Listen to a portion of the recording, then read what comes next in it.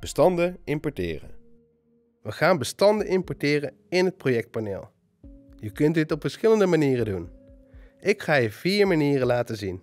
We gaan naar File, Import en we kiezen het bestand dat we willen gebruiken om te monteren. Vervolgens klik ik op Import. Deze haal ik weer even weg, want ik ga een tweede manier laten zien.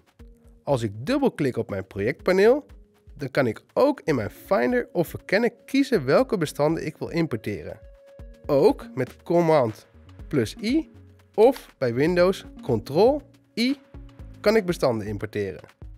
En als laatste manier sleep ik de bestanden vanuit mijn Finder in mijn projectpaneel. Dit is de manier die we vandaag gaan gebruiken. Je ziet dat met deze manier ook de mappenstructuur van mijn Finder is overgenomen in mijn Premiere project.